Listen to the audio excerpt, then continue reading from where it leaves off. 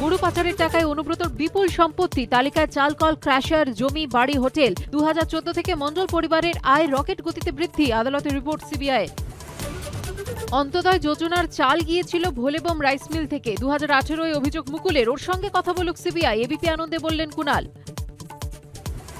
দুর্নীতির অভিযোগ তোলায় সাত বছর আগে সাসপেন্ড। তখন তার কথায় গুরুত্ব দিলে অনুব্রতর এই অবস্থা হতো না। দুর্নীতি নিয়ে ফের বিস্ফোরক তৃণমূলে ফেরা প্রাক্তন বিধায়ক স্বপনকান্তি ঘোষ।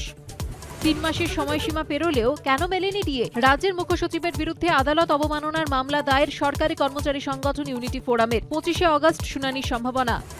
এবার পুজো অনুদান বেড়ে ষাট হাজার টাকা। পুজোর বিদ্যুৎ বিলে ষাট শতাংশ ছাড়, ঘোষণা মুখ্যমন্ত্রী। টাকা নেই বলে দিয়ে বাদ, ভোট বাঁচাতে অনুদান, কটাক্ষ বিরোধীদের। তৃণমূলের সবাইকে চোর বললে শিক্ষা দেব, হুঁশিয়ারি সৌগতর। চোরকে তো চোরই বলবে, পাল্টা সুকান্ত। মনে হয় ঘুষি মেরে মুখ ভেঙে দি আক্রমণ শোভন দেবের পয়েন্ট বাড়ানোর চেষ্টা খোঁচা বিরোধীদের। হেস্টিংসে রাজ্য বিজেপির বৈঠকে উঠল সিএএ ইস্যু। দু হাজার মধ্যেই হবে আশ্বাস মালব্যর। জনমত তৈরিতে সাংস্কৃতিক অনুষ্ঠান আয়োজনের পরামর্শ। ভুয়ো সরকারি বিল ছাপিয়ে বীরভূমে পাথর বোঝাই লরি থেকে তোলাবাজির অভিযোগ। চার সপ্তাহের মধ্যে রাজ্য সরকারকে রিপোর্ট জমা নির্দেশ হাইকোর্টের। পয়লা নভেম্বর ফের শুনানি। সিবিআই তৃণমূল সেটিং নিয়ে দিলীপের তত্ত্বকে সমর্থন প্রতিমা দত্তর। তদন্ত নিয়ে ক্ষোভ। ফের কোর্টে যাওয়ার ভাবনা নিহত তপন দত্তর স্ত্রী ঘণ্টাখানেক সঙ্গে সুমন, রাত আটটায়। ডেঙ্গির প্রকোপ কমাতে এবার কচু বনে কোপ। কচু কাটা করা হবে এইসব কচু গাছ।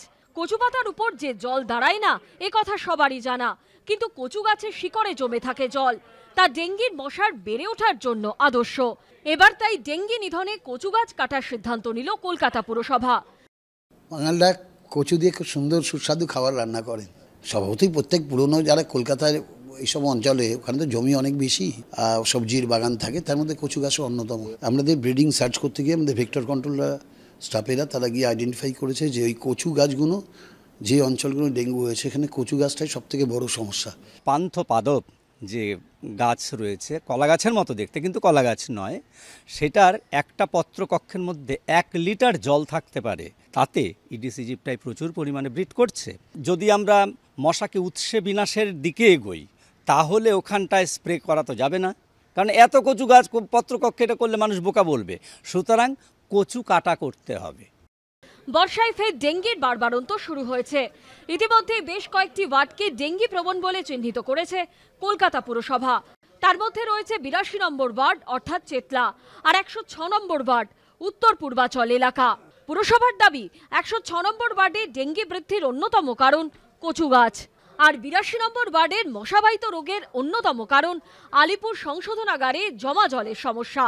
এই দুটি ওয়ার্ডে ডেঙ্গি পরিস্থিতি সোমবার খতিয়ে দেখেন পুরো আধিকারিকরা। কাজে গাফিলতির অভিযোগে দুই পুরকর্মীকে রীতিমতো ধমক দিতে দেখা যায় ডেপুটি মেয়রকে। একশো ছ নম্বর দুজন কর্মচারী আছে, ভেক্টর কন্ট্রোল স্টাফ, যারা হ্যাবিচুয়াল অ্যাবসেন্ট থাকে হ্যাবিচুয়াল অ্যাটেন্ডেন্স তারা করেন না। কৌশিক আর বিশ্বনাথ বিশ্বাস, এরা নিয়মিত অ্যাবসেন্ট থাকেন। এদেরকে ওয়ার্নিং দিন, যদি কাউন্সিলর বলে, আমি এদের তাদের চেঞ্জ করব পুরসভার তরফে জানানো হয়েছে, প্রতিটি ডেঙ্গি প্রবণ ওয়ার্ড ও বোরোর পরিস্থিতি খতিয়ে দেখে ব্যবস্থা নেওয়া হবে।